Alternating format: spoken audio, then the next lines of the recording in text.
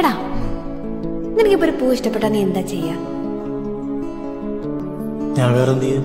അത് വീട്ടിലേക്ക് പൊട്ടിച്ചുകൊണ്ട് അപ്പൊ ഒരു പൂ ഇഷ്ടപ്പെട്ടാ നീ അതിനെ പറിച്ചെടുക്കും. ഉറപ്പല്ലേ? ആ ഉറപ്പായിട്ടും. ഷുവറും പക്ഷേ നിനക്ക് അതിനോട് ഇഷ്ടത്തിന് പകരം സ്നേഹമായിരുന്നെങ്കിലും എടാ പീറ്ററെ നീ ആ പൂവിനെ പറിക്കില്ലടാ. പകരം നീ അതിനെ പരിപാലിക്കും. നീ അതിന് വെള്ളവും വളമൊക്കെ കൊടുത്ത് നീ എന്നെ പൊന്നു പോലെ നോക്കും. പീറ്ററെ നീ ഒന്ന് ആലോചിച്ച് നോക്കിയേ. നീ ഒരുപാട് ഇഷ്ടം കൊണ്ട് പറിച്ചെടുത്ത ആ പൂവില്ലേ? അത് എത്ര കാലം നിന്റെ കൂടെ കാണും? ചിലപ്പോ ആദ്യമൊക്കെ നീ അതിനെ ഭംഗി പോവാതെയൊക്കെ നോക്കും.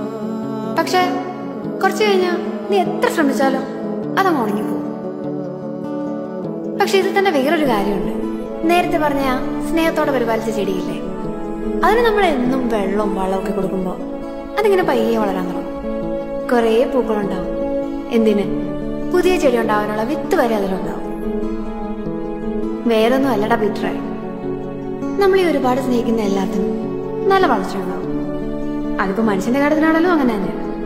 അതിങ്ങനെ വളർന്നുകൊണ്ടേയിരിക്കും.